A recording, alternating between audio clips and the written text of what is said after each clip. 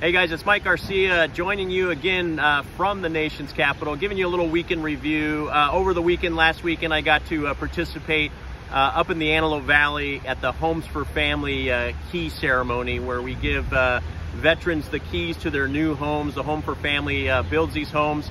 the veterans themselves participate in the construction of the homes and get the sweat equity uh, it's a great way to give uh, low uh, cost, affordable, uh, uh, and safe housing to our uh, local community veterans. So congratulations to all of the veterans who received their keys. What a great ceremony that was. This week in DC, it's National Police Week, so most of the legislation this week is centered around our law enforcement.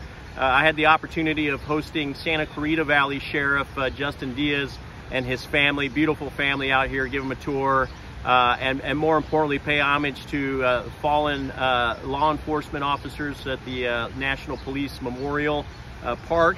Uh, and this week we passed legislation to denounce the defunding of police to make sure that we're doubling down on our commitment to law enforcement. we passed the, the Police Act, which makes sure that the assault of a law enforcement officer uh, by an illegal immigrant is actually a deportable uh, offense. Uh, if you assault a police officer and you're here illegally, uh, you should absolutely be deported. And as you know, I have my Steve Owen uh, bill that's still working its way through the system that says if you uh, kill a law enforcement officer, that's a federal felony with punishment no less than life in prison.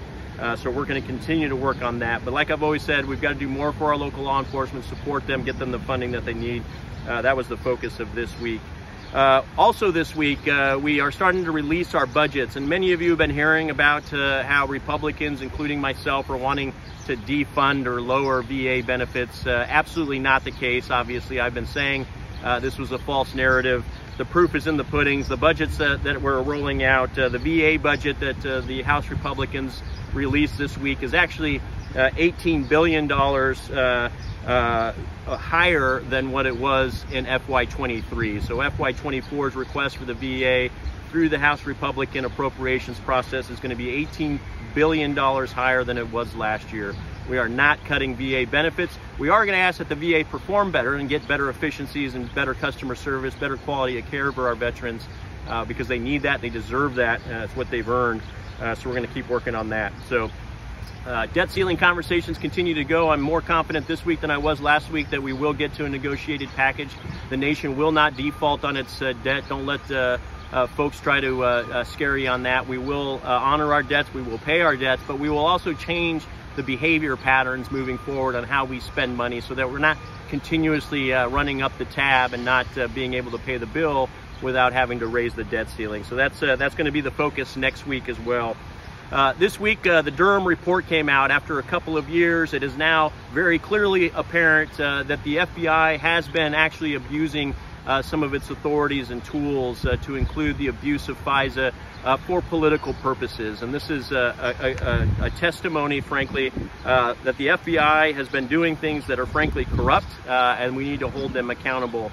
This is on the heels of a report from the Intelligence Committee that I sit on that we released that cited the fact that Secretary of Blinken, before he was uh, uh, nominated as Secretary of State, was working with President Biden's campaign, solicited uh, a letter uh, from then ex-CIA Director Morell to testify to the fact that uh, the Hunter laptop, the Hunter Biden laptop story was a Russia propaganda uh, hoax uh, which it, in fact was not, and they were still able to get the ex-CIA director to write this letter, get 51 intelligence uh, community leaders to sign on to this letter, saying that Hunter Biden's laptop story was a Russia hoax.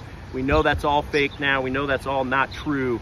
Uh, and all this is starting to come out, as well as the FBI whistleblower. So we're going to be holding uh, the FBI, we're going to be holding all federal agencies that, uh, uh, frankly, are using their powers and their tools for political purposes rather than to support and defend the Constitution. We're going to be holding them accountable here very soon. So uh, with that, guys, I encourage you to uh, follow the newsletter. I'll be back in the district uh, tomorrow um, and uh, this weekend, throughout this weekend, meeting with businesses, meeting with constituents, uh, and participating in local community events. Looking forward to seeing you and back here in DC next week. So with that, guys, God bless. have a great weekend.